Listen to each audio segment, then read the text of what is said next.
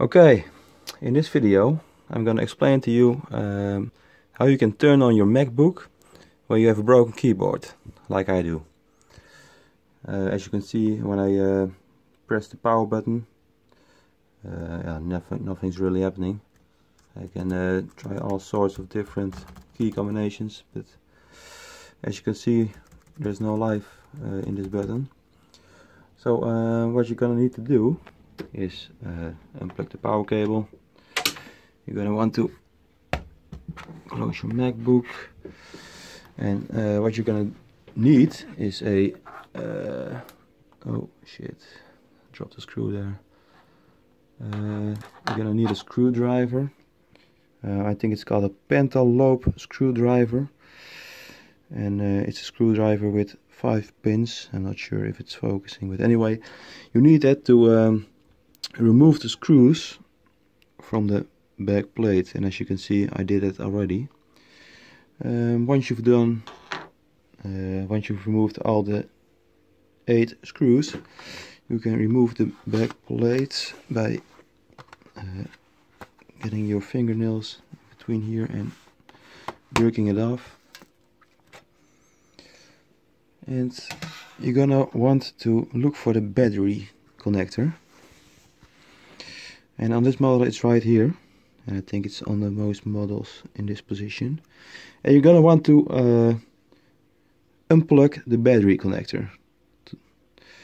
Uh, these are the batteries. This is the connector. You're gonna want to get your fingernail under here and pull it up like so. As you can see the batteries are now disconnected Next you flip uh, over your MacBook again and as you can see when I touch the, uh, the power button uh, still nothing is happening of course because it's got no power. Uh, you're gonna want to get your power cable and plug it in your MacBook like so. Uh, as you can see there's a green and then an orange light coming up and boom there it goes it's powering up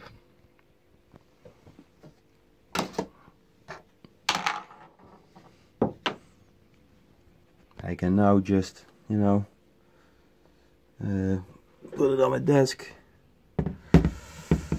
connect a external keyboard to this piece of shit because that's what it is really. I don't know why the keyboard's already broken after just a year and Apple won't give me a warranty so. But anyway you can uh, use your Mac via an external keyboard and mouse. So at least you can get uh, access to your files and everything, your programs. So you can make a, a backup copy or uh, whatever uh, before you get it fixed. So that's how you uh, power up your MacBook when your keyboard's broken. Alright, thank you for watching. I hope it was helpful. Bye.